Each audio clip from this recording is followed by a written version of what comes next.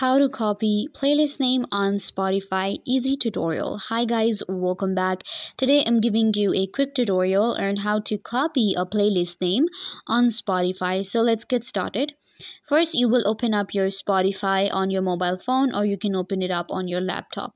So you just have to select the playlist that you created.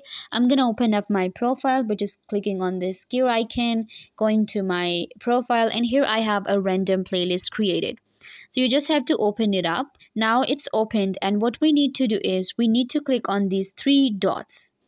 Once you click on three dots then you have edit playlist option.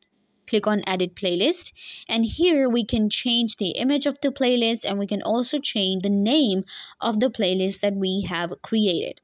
In order to copy this you will just you know press on the name and it will give you the copy option just like you copy text on your phone so you can now copy paste or share. So i'm just going to click on copy.